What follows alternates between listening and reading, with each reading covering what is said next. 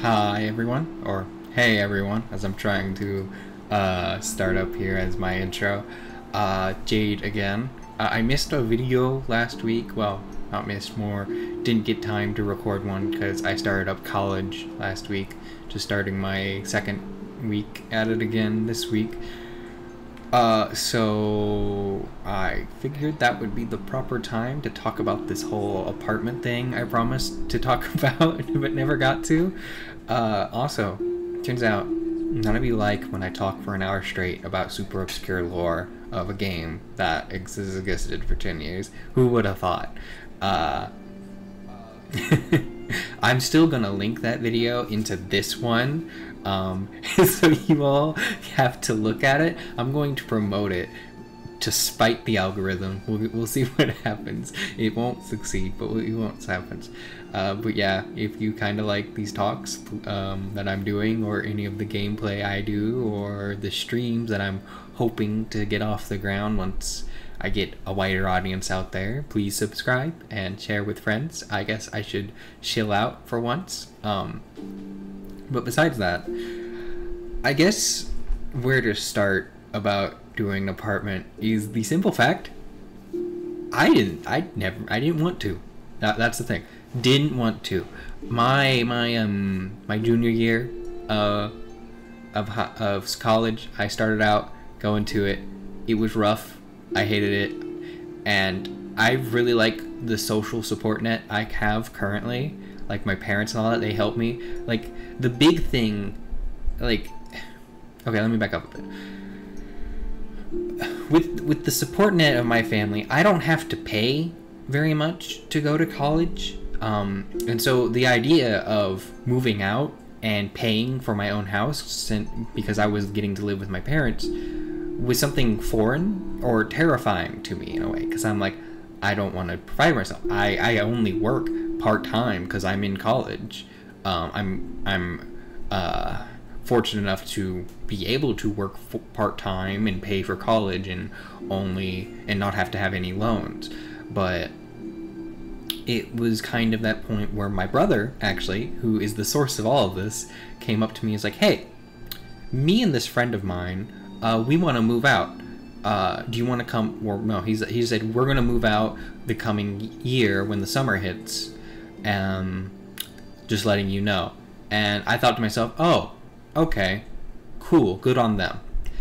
About three days, some somewhere within three days to a week later, my mom started asking him about it, and then asked if I wanted to go, and I, on a complete whim, said, "Sure, yeah, I'm, I'm thinking about it." And and my brother is like, "Okay, uh, yeah." I'm coming too, and so I I hitched a ride that's right. That's how I'm here in this room right now. It's because I, on a whim, hitched a ride to wanting to finally enter the real world and live my own life independent. And so I never looked forward to. I dragged my feet coming to this apartment. I'll, I'll, I'll be honest. I, I dragged my feet because uh, I was dreading the thought of having to pay for rent. I was dreading all of these thoughts of having to live away from parents, of having to do college while all that's going on. And so I tried to make my summer last as long as possible and just push the thought that I agreed to get in a three room apartment because um, my brother and their friend they were planning hey if you join us we could get to the three room and then if not we'll just downgrade to the two room They didn't really care what I did in that matter. I was literally just if I wanted to join or not, it's up to me. And inside, I kind of didn't want to, but as it kind of progressed, um, I kept thinking, you know, it'd be nice to not live with my parents for once because they're great, but they, they're parents, and parents can just as a norm can be overbearing, I guess. And so I was thinking, you know, it would be nice to have my own place or be able to just I know the biggest thing was have my own privacy. Just that was a big thing. And so time comes uh that at the beginning of the summer where uh, we have to meet with the landlords about the apartment. Uh, we go in and they talk about it, and we have us read the contract. And I give them like a safety check or safety check. I don't know what it's called. It's like that thir- the, the uh, extra payment that you'll get back, um, or something. Um, and I'm reading through this contract, and it's, it's kind of super lenient because I, I got it really nice. I I have all my payments in one. I pay for my rent, my water bill, my electricity, my internet. It's all in one bill, and so that's really nice um, because it I also are, it's an apartment meant for college students. It um, they're not part of the college, but they help college students since they're really close by and so I'm reading through it and like list of limitations and things like that. And there's this big like consent form of like you can like consent out of it at any time. And I'm like, oh, that's really nice. And so I wanted to like ask about that. Um, and so I look to the guy after I sign it, having signed it, and I go, all right, so uh, what happens if I like I'm starting to feel I don't uh, want to uh, want to live here anymore and want to like leave early. And he looks at me bewildered, completely starstruck, and goes, Well, you just signed a form that said you're going to pay us for a year to live here. And I just sit there internally screaming at myself as on the outside I go, Oh, okay. And so now I'm like sitting here going, as I live in this building, go, I have to pay for a year of this, and after that, I gotta figure out what I'm gonna do because I agreed to it on. I consented to it. I read the form, but I didn't understand it. That's the thing. I didn't understand. That's what I signed up for. So that's what he told me I signed up for. Um, and so I sit there. This is at the beginning of the summer, so I have three months until we move into the apartment, and I'll get to moving in later. And I just like okay, I just agreed to it. There's no backing out now. It's not I can live at home because no matter what, I'm paying for that room for for a year now, and so summer comes along. Um, pretty nice. We got to go on vacation to the Great Lakes. I got an internship. That was pretty nice. Uh, we went on a, a lake trip before college starts, and I think it was the the thing that's funny, my brother and his friend, who is, are my roommates, they set it all up. Like, two about a year back or a little more, they were the ones who contacted everyone because uh, this wasn't even on my resume. I wasn't even thinking about doing this, and so uh, they were really the two hands on, and I kind of was just there on the side, giving my talking as I could and but as the time gets on and we have to figure out what are we packing what days are we going in how when are we getting our keys what about payments all that i started doing that a lot more as in i started being like the main person. Like it was um my brother's friend and then he would contact us going like hey what do you guys have for supplies? And then i would immediately text back and my brother wouldn't respond at all. Uh, and then uh, I like for the keys, I had planned. I talked to the person and all this, and my brother told me recently. Oh yeah, no, I replied to all that. I just did that to DMs, uh, not in the like big um, roommate um, chat we kind of had going. And I'm like, that doesn't count. That's stupid. Gotta keep my victory. Uh, but yeah, I did a lot of the stuff. Um, my parents helped a lot with that. They backing up a bit when the parents learned we were moving out. They looked at us like, "Oh, um, all right," uh, and then looked at each other like, "These two don't know how to survive on their own." And I couldn't help but internally agree with that. That we've never been on our own and have no clue what to do properly. And I'm like, yeah, yeah, that's true. That is why we're doing this, so I can figure out how to do stuff on my own.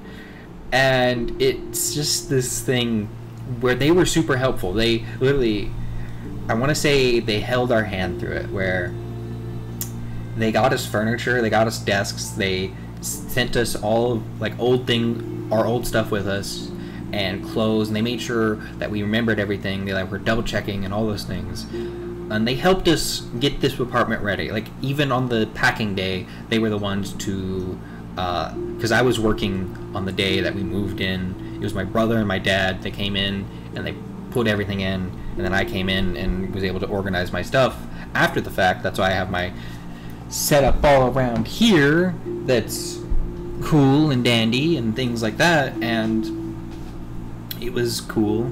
Or I already said that. Um, and I just am sitting there and finally move in. And it's weird um, that I'm actually here. I, I spoke about this in So I Just Moved In video, my first uh, talk video. That it, it's such a strange, strange thing to think about that I moved out. It feels like I'm on an extended vacation, like I'm at space camp again, or something, or I'm at some sleepover. But the more nights I sleep here, the more nights I or or I walk back here, I'm starting to kind of get used to that this is my home. But a part of me really doesn't want to feel like it's my home. One day I want well my own place. I I never want to think of an apartment as my living quarters. I know that's that could be considered stuck up maybe, I don't know.